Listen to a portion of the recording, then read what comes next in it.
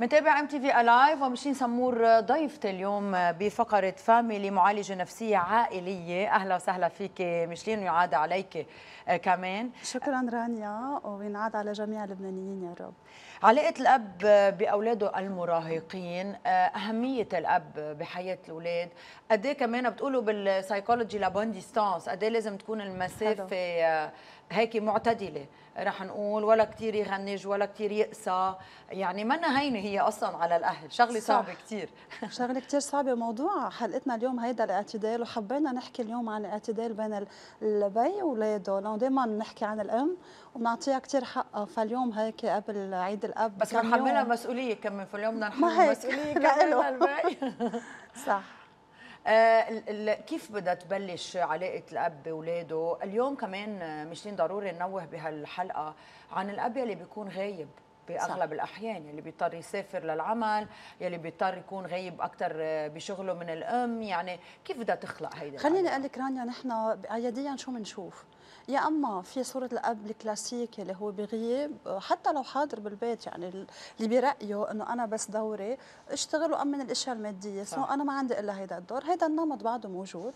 عند الأب اللي كثير حاضر اللي كثير حاضر بكل التفاصيل واللي ما بيعرف يغيب. يعني اللي هو إن كان برات البلد أو بقلب البلد برات بشغله أو بالبيت هو بده يتابع كل التفاصيل وما بيعرف يخلق هيدا ال هيدا ال هيدا المساحة هيدا الاعتدال. وعند البي اللي بين هيدا وبين هيدا لما يتعب من من المتابعة بغيب.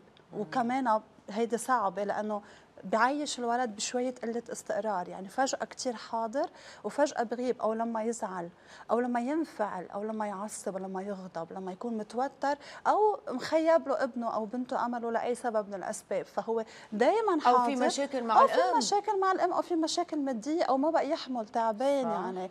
ما عم يعرف إنه هو هيك يرتاح يهتم بحاله. ما عم يعرف يعتدل فبغيب. وهون كمان كثير صعبة. ثلاثتهم صعبين وعن هو اللي بدنا نحكي. خلينا نبلش. لكن بالأب اللي كتير رح نعمل العكس اليوم. رح رح, رح نبلش بالأب يلي كثير موجود يلي بيكون عم بيتدخل بكثير من التفاصيل. قد إيه قدره الأب على كل حال إنه يكون موجود بحياة أولاده اليومية؟ بس بدنا ناخذ نحن وقفة وبنرجع بنقلع بموضوعنا أنا وياك.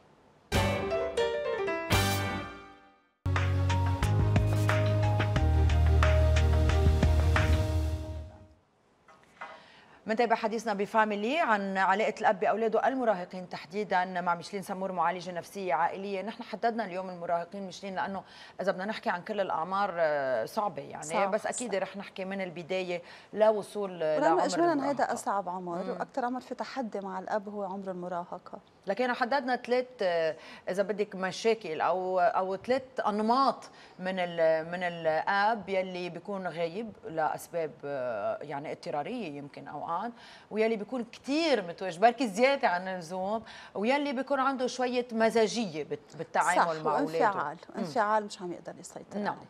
بدك نبلش باللي كثير كثير حاضر. خلينا نقول إنه هذا أحلى نوع لأنه فعلا بطل فينا نقول إنه نيالا الصبيه اللي جوزها بيساعدها حظها حلو لأنه لا مفروض يساعدها مفروض يحضر. من لحظة ولاده طفله يتابع كل التفاصيل والا كيف الولد حيعرف إنه هيدا بيه فإذا إذا هو إذا إذا البي من هيدا النوع بنقول له نحن برافو يعطيك ألف عافية عم تعمل دور كثير حلو بس بدك تنتبه على حالك. م. بدك تعرف لأنه أكيد أنت عندك ضغط الشغل ضغط العائله ضغط ضغط الحياة وضغط خاصة عندنا بلبنان يعني قلة الاستقرار اللي عم نعيشها بالأخبار السياسية كله هيدا بيأثر علينا نحن كأهل وخاصة على البي. فأنت بدك تعرف كيف تغيب بدك تعرف ما تحس بالذنب لما تغيب. لما تكون تعبان من عدة أشياء ما تنطر لابنك ينفعل أو ابنك يتشيطن حدك أو يخرب شي شغلة لأنت تنفجر لأنك أنت تعبان. لازم تهتم بحالك لازم تبعد يمكن تعمل رياضة يمكن تعمل موسيقى أو يكون عندك أنت أي نشاط خاص فيك حتى تقدر تضاين لأنه كثير متعب التدخل اليومي والمتابعة اليومية وتغنيج الأولاد. يعني الولد بصير يعمل كثير حركات ليتمسك بهيدي العلاقة وبصير يسأل أسئلة كل ما كبر وكل ما هيك صار يعني حس إنه شوي بيو تعبان بده يحاول يشده. مشلين قد الأب هو قادر بتكوينته السيكولوجية البيولوجية أو بتكوينته الطبيعية البيولوجية إنه يكون عم بيتابع مثل الأم هالتفاصيل. وقد إيه هيدا الموضوع ممكن يكون أوقات زايد عن حده. يعني نحن بنشوف كثير أوقات بيات صح. يعني كل الوقت عم بينتقدوا الأمات إنه أنت ما بتعرفي تربي أنا بقدر أهتم خلص زيحي أنا بهتم عنك. فبتخلق كمان نفور بين الاثنين. آه وبنحس ما بعرف قد إيه مزبوط. أنا عم بحكي كهيك مراقبة من برا. إنه أوقات الاب اللي بفوت كثير بتفاصيل اولاده وبيكون هو عم يهتم فيهم بشكل مباشر الاولاد بيصيروا كأنهم مغنجين زيادة عن اللزوم. مش مثل وقت الام تفوت بالتفاصيل. الام بتضل هيك بتحسي ما بعرف حاطة آه، حدود. آه خليني أقول لك شغلتين كثير منيح رانيا اللي أنت اللي ضويت عليه. نحن إذا قلنا كثير منيح البي يكون يكون حاضر وعم يلعب دوره بكل التفاصيل مش يعني يكون في منافسة بينه وبين الأم ابدا. لا هي تنتقده ولا هو ينتقدها واذا بدنا نفوت بالانتقادات بين ال...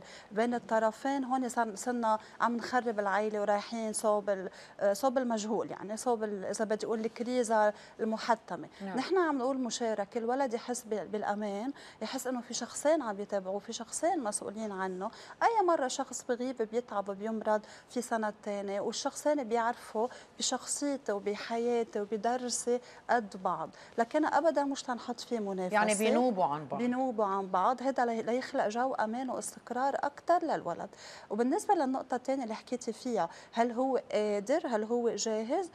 ما فيني أقول كلهم جاهزين ولكن في يكون جاهز إذا هو بده. إذا هو بقناعاته كرجل إنه دوره مش بس يجيب مصاري ويدير البيت اقتصاديا و... بس كمان الأدوار إذا فاتت ببعضها هالقد هل هالشيء صحي؟ مشلين آه يعني أوقات خلص ما بي ما بيقعد تعرفي مين دوره شو بالبيت. يعني هي بالنتيجة مثل شركة عم نديرها يمكن. صح. هو صح إذا كان في إطار الحب والإحترام. مش بإطار إنه أنا أحسن منك وأنا أشطر منك وأنا أقوى منك وأنا بدي اخلي الولد يحبني أكثر منك. هيدي ما بدنا منافسة. صح إذا مع بعضنا عم نعمل كل الأشياء عم نتفق. وعم نتفق. وحتى لو كل واحد عنده رأي وكل واحد عنده طريقة تفكير وكل واحد ما بعرف بتفاصيل الحياة اليومية. حدا بحب يحط كاتشب مع البرجر حدا ما بحب. حتى لو هول موجودين نعيشهم بفرح وبعفوية. مش لننافس بعض ولا لننتقد بعض ولا لحتى شو بيخلق هالموضوع عند الولد؟ في حال كان في منافسة. أو في حال حدا عم بيتخطى دور الثاني كمان. قله الاحترام كثير بتجرح وكثير بتحسس الولد إنه آه هول الشخصين عم بيكذبوا على بعض عم بيكذبوا علي ما بيحبوا بعض آه مش مطرحهم مع بعض وبحس إنه أنا أول أول على آخر حافقدهم بصير عايش ما بيقعد عنده أمان. ما بيقعد عنده أمان. عايش حيفقده لأنه شايف إنه دائما في مناكفه دائما في منافسة والانتقاد كثير بيوجع. خاصة لما بلش الولد يكبر ويفوت بعلاقات هو كمراهق يعني. بصير يطلع إنه أنا بكرة رح أقبل شريكي أو رفيقتي أو رفيقي تحكيني بهيدي الطريقة وهون ببلشوا هن يعطوا ملاحظات لأهلهم. نعم. خففوا هيدا. فإذا ما ننتبه كثير من الانتقاد والمنافسة. مشلين آه، بالمراهقة آه، البي الشاب والبنت بدهم ياخذوا مثل يعني. صح. أنا بدي اصير مثل أمي أنا بدي اصير مثل بيي. لما بتفوت هالأدوار ببعضها هالقد أو لما بيكون حدا بعيد آه، خلينا نقول آه، كيف الولد بده يركب شخصيته؟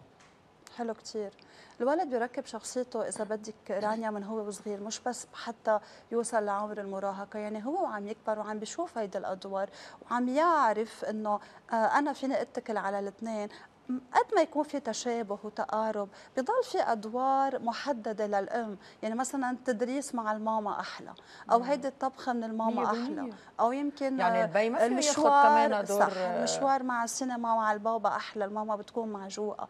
يعني قد ما نقول نحن في مشاركة. طبعا ما حتكون هيدي المشاركة يعني كل الأدوار عم تنعمل هي نفسها. الرجال هو بطبيعته في أشياء بحبها أكثر والمرأة بطبيعتها يمكن في أشياء اعطينا اعطينا الأولاد لروح أنا وياهم على المول بركي. نعمل شوبينج فالولد بيكتشف هالميول هالشخصية عند أهله وعلى هذا الأساس بيكبر. بيكبر بأمان إذا كانوا اثنيناتهم موجودين. إذا كان الأب غايب إذا كان الأب غايب وقبل ما نحكي عن الاب كثير و... صح. قبل ما نحكي عن الأب الغايب لأنه بتعرفي رانيا هيدا أكثر شيء مدمر وهذا أكثر شيء نحن بنشوفه بالعيادات. خلينا أحكي عن الأب الثالث اللي هو اللي قلنا بيجمع الاثنين اللي هو حاضر ولكن لما بيتعب ما بيعرف يبعد ما بيعرف يرتاح بشكل هيك استباقي برو اكتف يرجع لورا كم خطوة.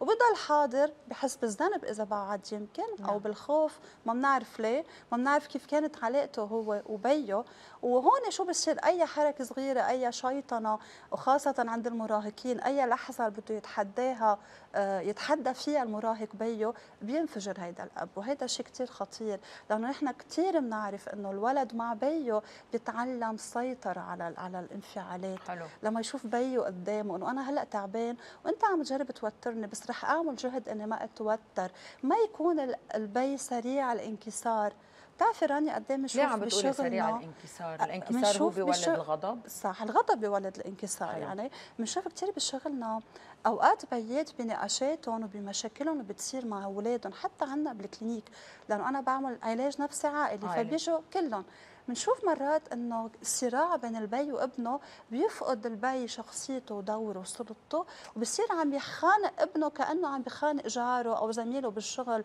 من الند للند وبينسى للحظات بلحظات الغضب والتوتر إنه هذا ابني هذا اللي أنا صنعته. مشين قلتي شغلة بحب علق عليها قلتي إنه الأب هو اللي بيعلم السيطرة على الأعصاب. نحن بنقول بلا ما ننتبه إنه ماشي الحال إذا الأم عيطت ما بيتأثروا الأولاد بس إذا البي عيط أو إذا البي غضب هون الكارثة يعني بتأثر بولد بتذكرك كل عمره. يعني آه، قد إيه مهم الموضوع إنه نحكي فيه؟ وليه؟ ليه الأم ما بتأثر؟ الام بتعيط أوقات بيطلع يمكن لأنه هي حاضرة كل يوم. يمكن لأنه هي حاضرة كل يوم. ويمكن لأنه الأم ما بتتحمل كثير يعني يمكن هي حاضرة كل يوم وبتعيط كل يوم وداخل هذا الشيء بالإطار التربوي وبتعرف كيف تتراجع بتعرف كيف تراضي بتعرف كيف تعوض بس ليه عيطة الأب أو قصاص الأب هو أقسى من قصاص لأنه الأب دائما أول شيء لأنه الإيماج تبعه ما بيعرف يتراجع اجمالا اجمالا كل الذكور من بعد لحظات الغضب بيحاولوا يعوضوا ولكن ما بيعرفوا يعوضوا بطريقة هيك مباشرة ما بيعرفوا يعتذروا بطريقة مباشرة. هذا سبب يعني بيبقى الجرح مفتوح عند المراهق أو عند الأطفال. السبب الثاني إنه طبيعة الرجال وهرمونات الذكورية بتبقى حالة غضب عنيفة. عم نحكي عن عنف لفظي عم بحكي عن يمكن يمسك الماجي بده يضربوا فيها أيه. عم بحكي عن لحظة قوية فيها انفجار فعلا. ممكن تاذي ممكن تتحول لعنف جسدي أو عنف كلامي أو حتى التهديد بالعنف هو اسوء من العنف يعني مثله فينا نعتبره.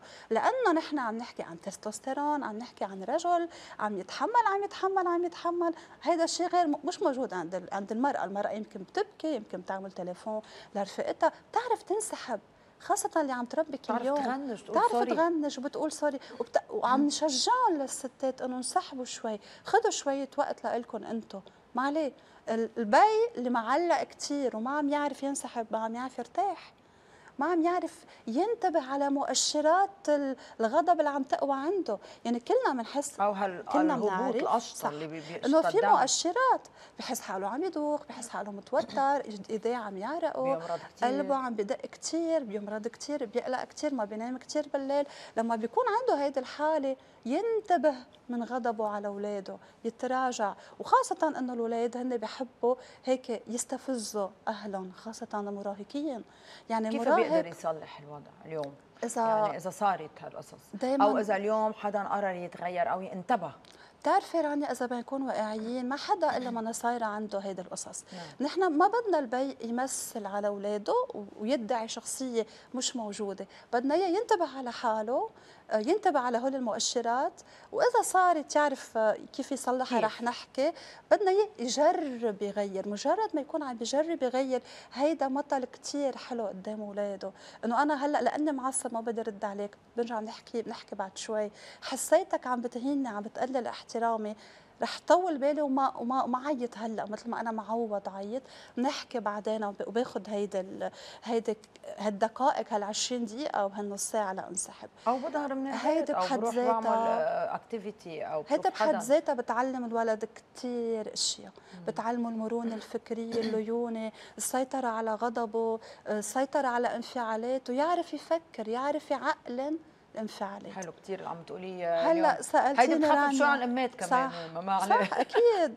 سألتيني إذا صارت نعم. هالكريزة أو هي نوبه الغضب. كثير حلو الحوار المنفتح. نقول. كثير حلو يقعدوا على طاولة عم نحكي مع مراهقين عم نحكي مع أشخاص صار عندهم فكرهم صار عندهم شخصيتهم ما فينا نكذب عليهم وما بقى فينا نرضي ومش مطلوب بقى نرضي ونعود بالإشياء المادية أبدا نقعد على طاولة الحوار ونخبر شو بنا ونقول شو عم نحس وشو عم نمرق نحكي عن حالنا عن مشاعرنا نحن كأهل كبي ونطلب الاعتذار ونسمي الغلط وين صار. لأنه بعتقد هيك نحن كأهل نطلب من اولادنا أكيد. لما لما يغلطوا معنا. وكمان يمكن مش غلط نوضح إنه أنا لأنه صار فيها قلة الاحترام تجاهي عملت هالردة الفعل. لأنه دائما ردة الفعل هي لها سبب صح. كمان يعني. صح. وحلو نقول له للولد كنت بقدر أعمل رح أجرب للمرات الجاية يكون عندي غير سيناريو. وأنت كمان فكر كيف بيكون عندك غير سيناريو وما هيك تحشرني كثير بالزاوية. بلا ما نحسسه للولد بالذنب إيه؟ أكيد. أكيد قد ما بنقدر يعني. عندي اتصال. ألو؟ ألو بونجور. ألو؟ ألو بونجور. يا هلا. كرانيا. تفضلي. okay بدي أنا أنا اللي عم تحكيه دكتورة كثير مهم وكثير آه، صحيح ولازم هيدا اللي يصير عند الأب. بس اللي ما بيسمع الكلمة وبيضلوا عصبي مش مزبوط هيك يعني. آه بيقدر الواحد يضل ويضبط أعصابه وكل شيء بالنسبة للمرأة مرته يعني. عم تحكي عن الرجل؟ على طول على طول عصبي يعني. okay. هو لا عم يرحم حاله ولا عم يرحم البيت يعني. okay. okay. okay بس هيدا إنه شو شو شو حل عند هالرجل العصبي يلي ما عم بينتبه على حاله وما عم ينتبه على آه، البيت يعني عائلته يعني يعني هو عصبي مع الكل في أضرار يعني. يعني هو عصبي معك ومع الأولاد؟ طبيعي. أي أي أي أي يعني أي رأي أي مشكلة صغيرة بتلاقيه بولع يعني بولعها هو طبعه هيك معناتها ما في شيء جديد بالموضوع. لا ما في شيء جديد بالموضوع. شكرا لاتصالك. آه، يعني كثير مهم إنه نحكي عن هالموضوع بدي أشكرها لأنه اتصلت فينا كمان. هيدا للأسف شيء كثير موجود وشكرا على اتصالها آه، أنا إذا فيني هيك الا تفكر هي بينها وبين حالها شو سبب هالعصبية. إذا هو ما قادر يفكر هي كشريكة حياته هي تفكر. بس رح تقدر يا ترى تحلها لحالها. لا أكيد ما حتقدر لحالها. هي إذا قدرت عرفت شو السبب أو شو الوضعيات أو شو المواقف أو وين بأي بأي فترة بيكون عندنا ظهر أو كل الأوقات هي ما حتقدر تحلها. بس هي حتقدر تبلش تخليه يحكي وهي تحكي معه. هي تحكي معه بحب. أنا بدي أقول دائما إنه نحن كل اختصاصينا دائما جاهزين آه، إنه أكيد تتصلوا فيهم تحت الهواء ويجربوا يساعدوكم بحلول بحل المشاكل خصوصي لما بتتصلوا فينا على الهواء. مشلين أكيد إذا بحبوا ياخذوا رقم بحكي عنك أكيد. أنا ياخذوا رقمك تحت الهواء لأنه في مواضيع عن جد صعب إنه الإنسان وفي أسئلة ما بنقدر نسألها على الهواء حتى احتراما لخصوصيتها للمدام ولخصوصية العائلة. ولكن بدي أقول هيدا الشيء المدمر. مشلين موضوع الأب الغائب وعلاقته باولاده المراهقين رح نتركه لحلقة ثانية لكينا لأنه ركض الوقت معنا والمواضيع كثير متشعبة وكثير فيها حكي. بدي أشكرك كثير لهالمعلومات اللي أعطيتينا إياها اليوم. شكرا لك أهلا وسهلا فيك مشلين سمور معالجة نفسية عائلية. بناخذ وقفة وبنرجع.